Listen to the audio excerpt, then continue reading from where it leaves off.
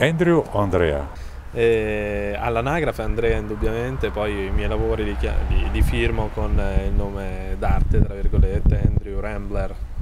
I tuoi lavori, e veniamo al dunque, ecco, in questo momento che cosa stai facendo? Attualmente sono mm, un collaboratore, eh, coordinatore progetti culturali dell'Accademia Belle Arti.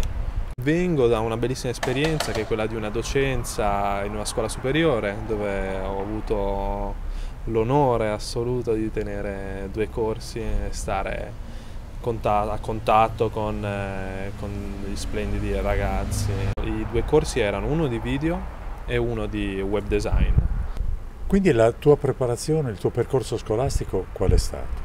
Il mio percorso scolastico è stato, diciamo, non tanto convenzionale con quelli che poi sono stati i miei risultati finali, cioè la, mia ultima scelta che è appunto quella dell'Accademia Belle Arti.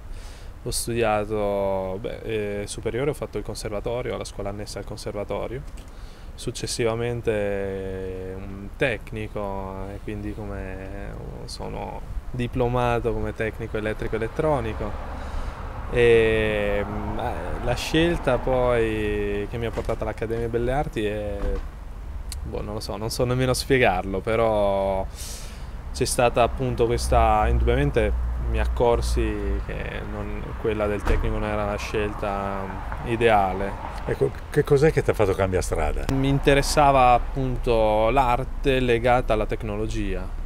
Cioè, quindi sono sempre stato un, cosiddetto oggi smanettone, tra virgolette, mi piaceva, sono sempre stato molto curioso per qualsiasi cosa la mia laurea, diploma di laurea in, um, Nuove Tecnologie per l'Arte, la triennale, specialistica in Visual e Motion Design.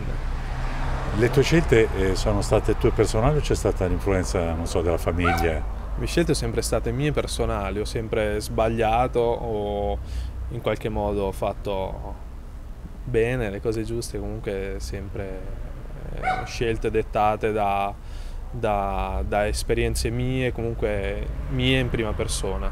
E questo potrebbe essere il consiglio per, da dare ai giovani forse, di andare per la propria eh, strada. Cosa, qual è il tuo consiglio? il mio consiglio indubbiamente è fare in assoluto quello che uno si sente di fare, perché appunto la vita è vita e non deve essere sopravvivenza, quindi magari rimanere un po' meno legati a, a quelle che possono essere, che ne so, convenzioni o quant'altro, ma piuttosto di di lasciare libero spazio a quelle che sono le sensazioni, istinto e, e passione.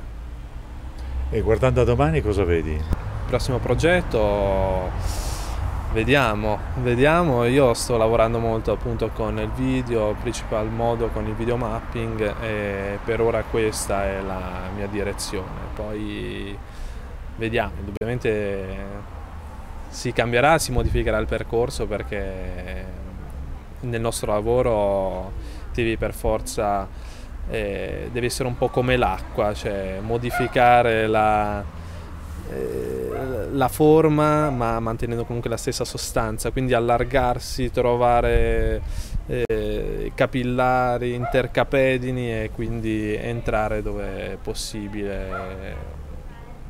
Sì, possiamo dire che con il tuo lavoro modifichi la realtà mantenendola cioè, un po' sì, così. Ovviamente col lavoro di video mapping sì, sono in qualche modo un illusionista, faccio sparire, faccio apparire cose, faccio trasformare ambienti.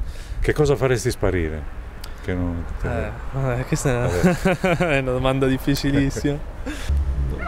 Sarei troppo poco politically correct.